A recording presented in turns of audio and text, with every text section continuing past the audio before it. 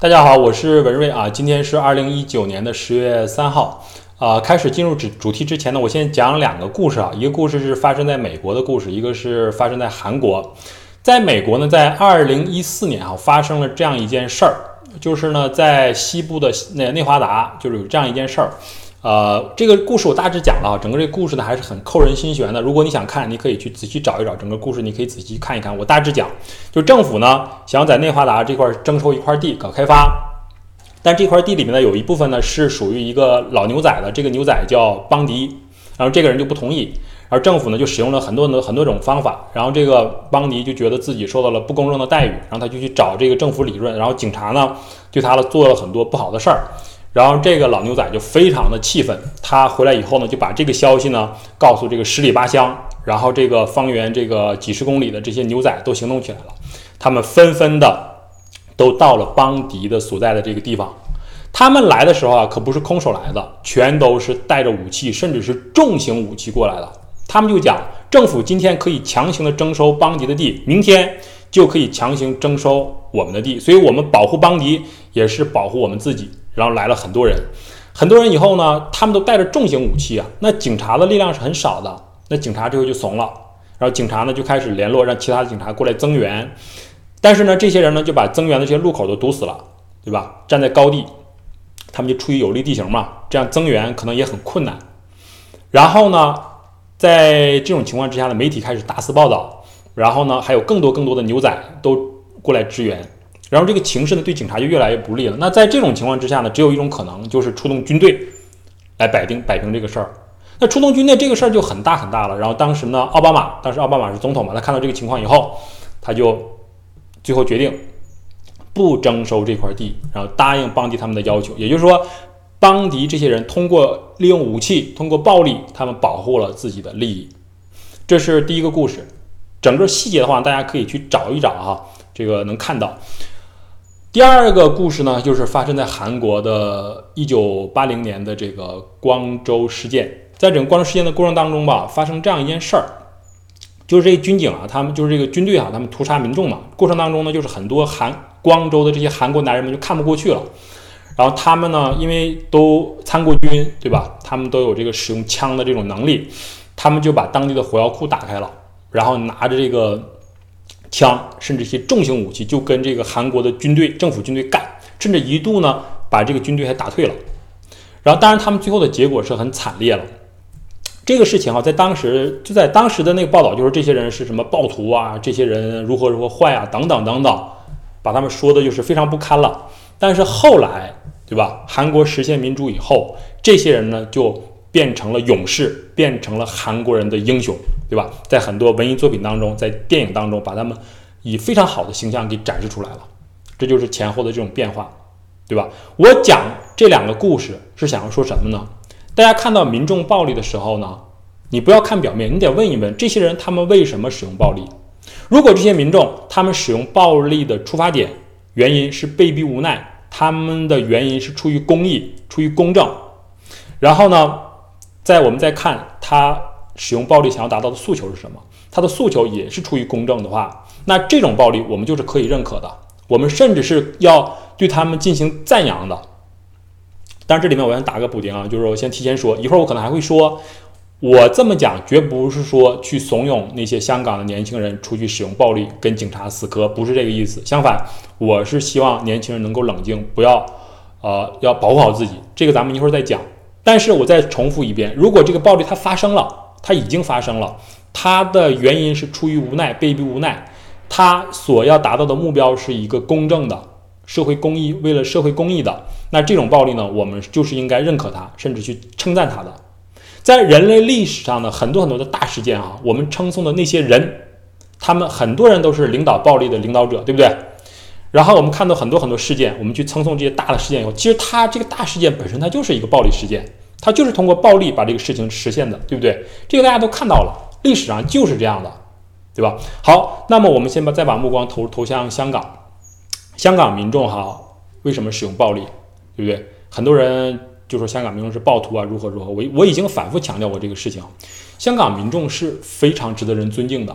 他们为什么使用暴力？整个过程我看的是非常清楚的。六月九号那一天，对吧？香港百万民众上街反对这个送中条例，当时整个的情形是非常平和的，没有暴力，非常平和。但是呢，在六月十二号那天，港府不听民众的诉求，不对话，依然要强行推行这个二，就是这个送中条例的二读。这样的话呢，老百姓就愤怒了，就不高兴了。对吧？很多人就去把这个立法会围起来了，对不对？那但很多人说了，你们凭啥围立法会啊？你们这要造反呢？这个事情非常好理解。以前我多次强调过，在一个正常的社会，自由、民主、法治、人权，这就像空气、水，对吧？像食物一样，对人来讲是片刻不能离开的，非常非常重要，对不对？你一个政府想要剥夺人的这方面的权利的时候，老百姓跟你好好说，你不听，你还要强行去做，那人家把你围起来，这是绝对正当的。就像一个恶霸在村里面，对不对？想要强行去欺负老百姓，对吧？老百姓好好跟你说，你不听，你还要强行去欺负老百姓的时候，那老百姓把你家围起来，这无可厚非。在六月十二号那一天，大家看到什么呢？警方首先使用暴力，开始使用催泪弹、催泪瓦斯、布袋弹，对不对？打人，对吧？甚至把民众的这种做法定性为暴动，大家都看到了，对不对？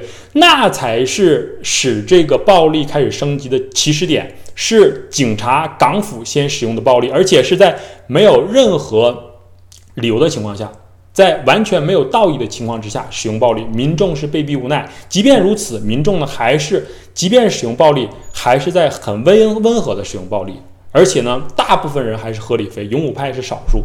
我们看到的情况是这样，但后来我们看到香港警察做了什么，对吧？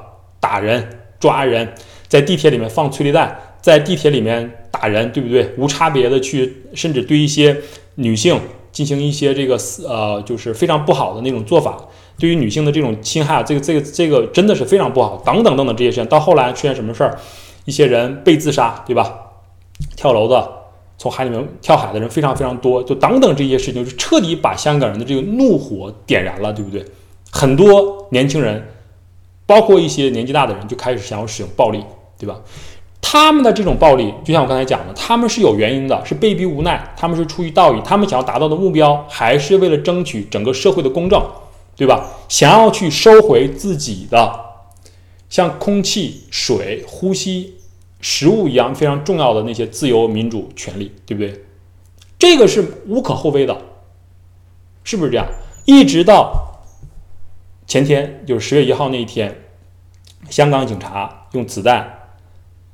呃，打了一个孩子，十八岁的孩子，这个事儿出现以后，当然这个前前后后的视频我也都看了哈，包括 BBC 的那个整个的那个报道，大家都都说，哎，你看这些孩子先打香港香港警察，香港警察出于无奈，然后开枪，对不对？好像香港警察就没有责任。我跟你讲，绝不是这样。整个这个事情大家看一看，是香港警察使用暴力在先，对不对？然后这些这些香港民众是出于无奈，孩子们出于无奈没有办法，你这个时候开枪。是绝对不对的，绝对说不过去的。我为什么这么讲呢？哈，咱们一点点来说这个事情。首先，我先讲说这个警察他为什么敢开枪，他为什么敢开枪？有人说啊，他是那个得到了授意哈，就是高层有人告诉他开枪也没事儿，有责任我给你们兜着，这是一个背后的原因。这个香港的警察他为什么敢开枪？我告诉大家，因为什么？因为这些香港的孩子们手里没有枪。如果这些香港孩子们手里有枪，就像那些西部牛仔一样，他们有重武器的话，这些香港警察绝对不敢开枪。他不仅不敢开枪，他连出来都不敢出来。这些香港警察，就像那个刚才我说的那个美国的那个警察一样，怂了，不敢出来。为什么不敢出来？因为香港的这些市民孩子们和香港警察他们的状态不一样。这些香港的市民和孩子们，他们是站在道德的这一边，道义的这一边，对吧？他们是不是为了自己？当然也是为了自己的利益，是为了香港民众的利益，为了他们子孙后代的利益，为了整个香港整体的利益，他们站出来，他们可以牺牲自己的生命，对吧？很多人不是带了那个遗书出来了吗？我们看到了，对不对？是这样的，对吧？香港警察他们为了什么？说句不好听的，香港警察就是刚才我讲的那个，比如说一个农村的那个恶霸欺负老百姓，这些香港警察就是这个恶霸的打手而已，仅此而已。香港警察是为了什么？他们是为了钱。为了利益，说的稍微柔和一点，就是为了养家糊口。说白了都是为了钱，对不对？他们做的这些事儿，他们自己也知道是没有道义的，不站在道义的那个角度上，所以这个双方是不匹配的。这边这边的年轻人是敢于放弃一切的，香港警察他们是不是这？他们是为了挣钱。所以说，真正在都有武器的时候，针尖对麦芒的时候，香港警察肯定不敢出来，就是这样的。他们正因为自己手里有了枪，有了高于民众的非常高的高端的这个武器，他们才敢出来，他们才敢去对老百姓那么去做，是不是这样？然后再谈到这个，就是香港民众的这个，就是跟警察暴力对抗这个事儿，很多人说，哎呀，这个这些暴徒如何如何打香港警察，香港警察是公正的。我跟你讲啊，从我的角度来看，这些香港的年轻人哈，他们是值得尊敬的。为什么呢？他们有血性，他们知道自己在十月一号这个敏感的日子站出来将面临什么。他们知道香港的警察有水炮车，有橡胶子弹，有催泪弹，对不对？他们也知道香港的警察身上带着枪。自己很有可能中弹身亡，他们知道，他们还是出来了，带着遗书走出来了，他们是有血性的，用我们东北话讲就是纯爷们儿，值得尊敬，对吧？我们看到什么情况？就是我看到很震惊的一点，就是什么呢？在这个事情出结束以后，很多人被抓了嘛，穿着黑衣服的一些年轻人，在他们摘掉头盔、拿下防毒面具的时候，我们看到的是什么？都是一些年轻的女性的面孔啊。对吧？即便是这些女性，我也想把她们叫做纯爷们儿，有血性，敢做。我再强调一遍啊，我不是我我不主张暴力哈，但是这个暴力已经发生了。我谈一下我的感觉是这样的。说句不好听的，就是那些大陆那些人，你们有几个敢于在面对不公义的时候站出去说话的，对吧？别人的不公义，大家自扫门前雪也就也就算了。很多人就是什么呢？这个不公义的事儿，这个伤害已经伤害到自己的家人了，给点钱也就不吱声了，甚至伤害到自己本人，他都不敢说。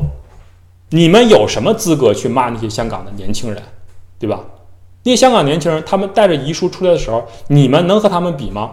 就那些在这个网上骂香港的年轻人那些，你们敢能和他们比吗？对吧？同样看起来看起来样子好像都是都是那个黄皮肤，对吧？都是所谓的什么？对吧？差不多，里面的这个情况啊，里面差距、想法差距太大了，太大太大了，真的，我真的是这种感觉。就看那个镜头的时候，我就看到一个细节，我非常感动。什么？那个孩子中枪倒地的时候呢，有一个年轻人是完全可以逃走的。他警察围着这个倒地的这个中枪的年轻人，就还有一个孩子是完全可以逃走的，但他没有逃走，他过来想去救这个倒在地上的这个年轻人。结果那些警察就把他按到地上了，真的就是香港这些人，他们真是很有义气。这些年轻人，咱们再聊一聊怎么说呢？就是大家可能都看过武侠小说，对不对？都看过一些武侠电影，对不对？谈到这个用枪，咱们就联系联系这一点啊，就是说高手和高手对决的时候，两个人都有道义的话，那是一种什么情况？对不对？你赤手空拳，我就赤手空拳，对吧？你用枪，OK，那不是你用刀，我就用剑，对不对？你上马，那我也上马。你在马上抡长枪，那我在马上就抡大刀，对不对？都是这样的，对吧？这是有道义的。如果中间有谁使用了一个高端的武器，或者是中间使用这个暗器，这是最让人不齿的，对吧？你们香港警察，你们的武装多好啊，对不对？那真是武装到牙齿啊，头盔什么都是最先进的，对吧？那些孩子们有啥呀，对不对？你们那个什么警棍这些什么水炮什么都有，对不对？然后呢，你还把枪掏出来去射杀这些年轻人，那就是在这个从武侠的角度来看，你就是在使用暗器，是非常让人不齿的，你知道吧？就是这样。从法律的角度来看啊，昨天我正好碰到了一个律师朋友，然后跟他聊天，我就问我说这个事儿，呃，香港警方称。就说这个警察受到了这个死亡威胁，如何如何，他是开枪是正当的。这个在韩国社会会怎么看？他说，在韩国社会，这个警察无论如何，他不能用枪去对准在那么多那么短的距离去去对准孩子的胸口射击，这是绝对不可能的。你可以朝天开枪，可以朝地。地面开枪，开枪示警，那些孩子肯定肯定就散了。你这么做，他说再这么做，在韩国那肯定引起轩然大波，谁都不可能容忍的这个事情。从法律角度上也说不过去，这是在韩国啊，就这样一个情况。所以嘛，我就讲这个事情啊，很多人吧，就是可能我说的稍微有一点激动啊，我就看那些留言，真是黑白不分呐，对吧？真的是黑白不分。就是把那个黑的给你说成白的，真的，人真是哎呀，这个人心呐，这这就不说了。然后我在现在讲对香港的朋友说句，就是你们，我还是刚才我讲了，我我不希望见到暴力。我跟你们讲，就是你们不要急，很多事儿别急。韩国的民主化运动呢，咱们往往短了说，从八零年到八七年，八零年光州运动开始到八七年，最后实现直选，整整经过了七年，将近八年的时间。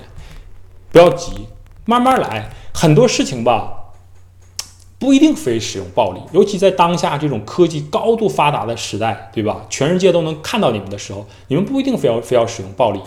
真的，我觉得这我从心里面真的不希望你们再有任何人受伤了，不希望是这样。你们的家里面一定很着急，对吧？多想想其他的办法，路还是有的。全球的这个正义人士都在看着你们，会给你会给你们不不断的支持的。嗯，真的不希望你们再受伤。然后我再讲对香港的这些警察们说几句：这些警察们，你们现在做的这些事情已经太过分了，已经太过分了。我就问一句：你们真的不相信报应吗？不相信天理吗？在我们头顶更有一片青天，上天一笔一笔给你们记着，报应迟早会到的。你们不要不相信这一点，因为什么呢？你们做的是没有任何道义而道义的，你们做的是不道德的事情，对吧？是邪恶的事情。你们就像我讲，你们是在帮助这个恶霸欺负人，你们就是这么一个角色，仗着你们自己有武器、有武装，对不对？所以呢，如果有一些香港的警察能听到我的视频的话，你们好好想一想啊，可能你们为了这个养家糊口，对吧？这个以前我也讲过，我充分理解，非常非常理解，对吧？可以没有办法，可以，但是你们为什么就不能把枪口枪口抬高一寸呢？对吧？为什么就不能？多为这些孩子们去考虑考虑。当然，我相信有一些警察，他们也做到了这一点啊。我不能全盘打死，但是有些警察，你们为什么不去思考一下呢？你们这么做吧，并不是为了这些孩子们，是为了你自己。你对这些孩子们越好，可能你未来你就有一个很好的、很好的结果。你对这些孩子们越狠，对吧？那你就是在往自己把自己往火火坑里推，未来你会越凄惨。就说那个拿枪。射杀孩子那个警察，对不对？以后你怎么在香港立足？不要觉得大家找不到你，你的孩子、你的妻儿老小怎么在香港立足，对不对？你的孩子一出门，别人就知道，就他，就他爸开枪打了我们的香港市民，是不是这样？所以你们真的好好考虑考虑，不要一时冲动，好像觉得自己挺如何如何的，不是那样的。而且以后我跟你讲，这个事儿搬过来以后呢，首先可能你们就要变成变成替罪羊了。这就是很现实的情况，就是这样。哎呀，今天吧，就是好像有点激动了，说的多一点。总总之，因为什么呢？我就看到了很多很多的这个评论呐。我再说一遍，真的是把黑的往白里说，把白的往黑里说，是非不明，就是不能明辨是非。其实我觉得也不是不明辨是非，更可悲的、更可恨的就是什么呢？明明知道什么是黑，什么是白，他就是给你往反了说，就是指鹿为马，就这样一个情况。嗯，所以呢，我整个吧就讲的这个，包括我开始开始讲的那两个故事也好，我整个想要说的意思就是什么呢？第一，香港市民呢，尤其年轻人一定要冷静，不要再受伤，不要再受伤害。除了暴力这个方法以外呢，别的方法还有很多。嗯，然后不要着急，但是呢，你们。现在做的这个暴力这个事情出来了，你们使用了暴力，对于这一点，我呢是完全能够理解的，甚至呢我是很佩服你们的。没有多少人，特别是在这个华人圈子里面，没有多少人能像你们这么有血性，这么纯爷们儿。嗯，这样这就是啊，还有就是对于警察，你们再好好想一想吧。你不要，我也不指望你们说为别人考虑如何，就为你们自己想一想，为了你的孩子想一想，把枪口抬高一寸，对吧？